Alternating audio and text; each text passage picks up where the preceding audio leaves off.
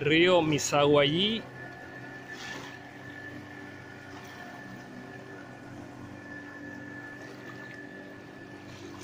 en la unión con el río Napo.